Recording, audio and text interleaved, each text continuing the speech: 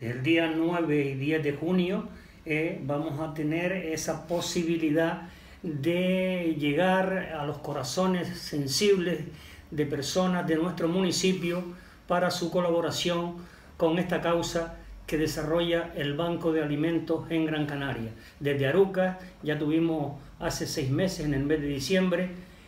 una eh, ocasión de lo cual eh, salimos muy satisfechos y esperamos que no sea menos esta vez el día 9 y 10 de junio en cuanto a la eh, bondad de nuestros ciudadanos del municipio de Arucas. Sí, el Banco de Alimentos de Gran Canaria está radicado en Mercadas Palmas. Eh, yo normalmente los viernes suelo ir a colaborar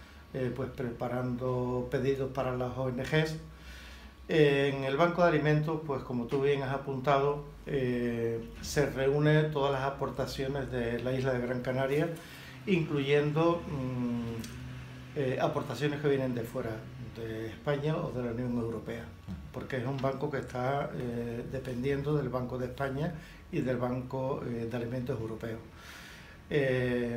hay una nave en Arinaga, otra en Mercalas Palmas, y